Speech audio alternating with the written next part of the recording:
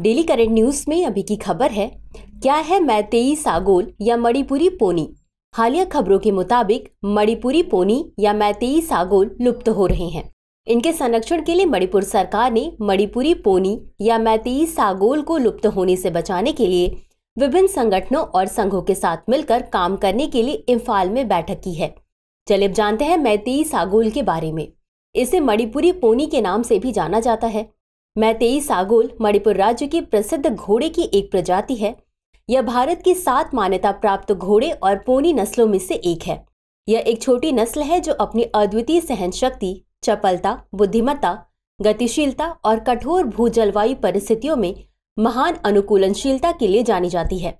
इस नस्ल को मूल पोलो पोनी माना जाता है क्योंकि आधुनिक पोलो मणिपुर के पारंपरिक सगोल कांगजेई खेल से लिया गया है। मणिपुरी जीवन शैली में मैतेई सागोल का प्रमुख स्थान है। ई हराओबा जैसे पारंपरिक आयोजनों के अलावा पोलो और घुड़दौड़ जैसे खेलों में भी इसका इस्तेमाल यहाँ किया जाता रहा है। गौरतलब है कि मणिपुर सरकार ने 2013 में मणिपुरी पोनी को लुप्तप्राय नस्ल घोषित किया था। गिरावट के लिए जिम्मेदार कारक, तेज़ी से बढ़ता शहरीकरण और अतिक्रमण, मणिपुरी पोनी के प्राकृतिक आवास आर्द्रभूमि का क्षेत्रफल कम होना ग्रामीण मणिपुर में पोलो मैदानों या पोलो खेल क्षेत्रों का अभाव, पोलो के खेल के अतिरिक्त पोनी के उपयोग पर प्रतिबंध, पड़ोसी राज्यों और देशों में इनका पलायन।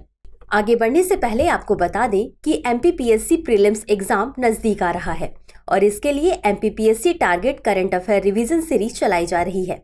इस प्रोग्राम को आप दृष्टि पीसीएस चैनल पर देख सकते हैं। प्रोग्राम का लिंक डिस्क्रिप्शन में दिया गया है। तो चलिए अंत में देखते हैं आज के अभ्यास प्रश्न को। मैतेई सागोल के बारे में निम्नलिखित कथनों पर विचार कीजिए। एक, इसे मणिपुरी पोनी के नाम से भी जाना जाता है। दो, यह असम में पाई जाती है। तीन, यह घोड़े की एक प्रजाति है। उपर्युक्त में से कितने कथन सही है या सही है? ए केवल एक, बी केवल दो, सी सभी तीन, डी इनमें से कोई नहीं। इस प्रश्न का उत्तर कमेंट बॉक्स में ज़रूर दें। अभी के लिए बस इतना ही। धन्यवाद। डियर व्यूअर्स अपने एग्ज़ाम की तैयारी को और बेहतर करने के लिए हमारे चैनल को लाइक, शेयर और सब्सक्राइब करना न भूलें।